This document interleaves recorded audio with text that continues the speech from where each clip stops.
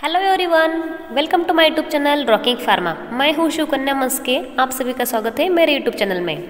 आज का हमारा टॉपिक है फ़िज़िकल फार्मेसी फ़र्स्ट तो चैप्टर का नेम है कॉम्प्लेक्सेशन एंड प्रोटीन बाइंडिंग इसके ऊपर की एमसीक्यू आज हम डिस्कस करेंगे। बहुत ही इंपॉर्टेंट एमसीक्यूज है, जो जीपेट एग्ज़ाम में फार्मासिस्ट एग्ज़ाम में और नाइपर एग्ज़ाम में भी आते हैं। चलिए गाइज़ स्टार्ट करते हैं एमसीक्यू वीडियो को स्टार्ट करने से पहले अगर आप चैनल पर नए हो तो चैनल को सब्सक्राइब ज़रूर कर लेना। MCQ first, it is the association between two or more molecules to form a non-bonded entity with a well-defined stoichiometry is called what? Option A, ligands. Option B, complexation. Option C, chelatation. And option D, none of these. And correct answer is option number B, complexation. Next MCQ.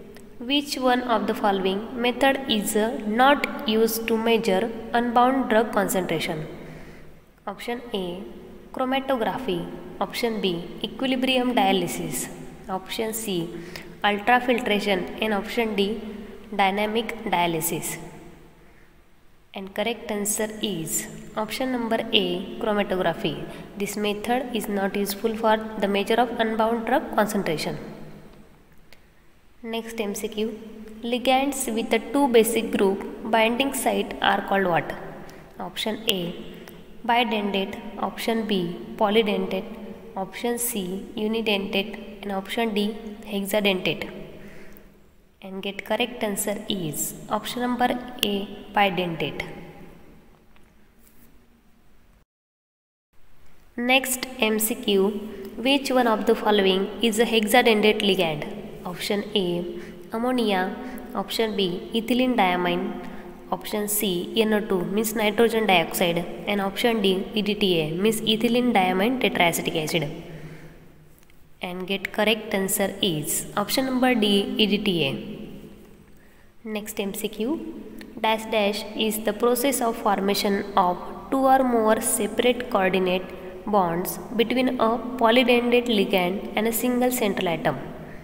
Option A complexation, option B chelatation, option C association and option D both B and C. And get correct answer is option number B chelatation.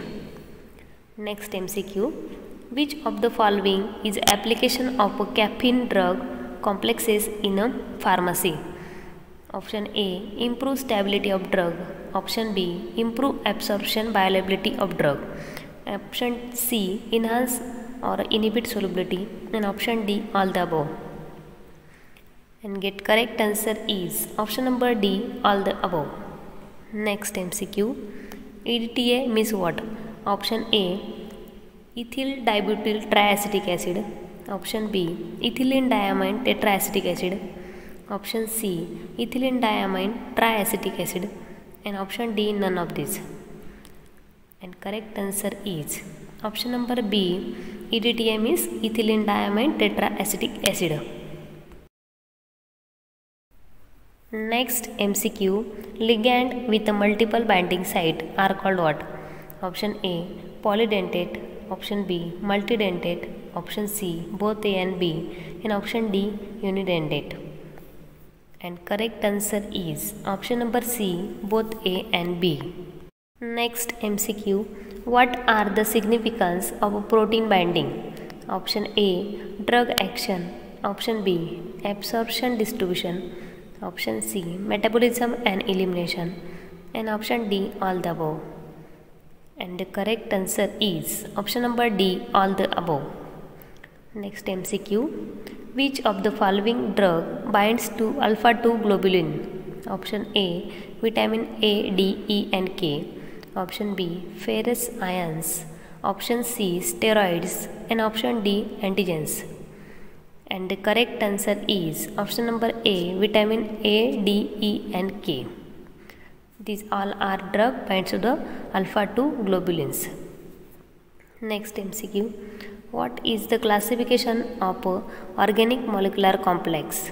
Option A picric acid complexes, option B polymer complexes, option C quinhydrone type of and caffeine complexes.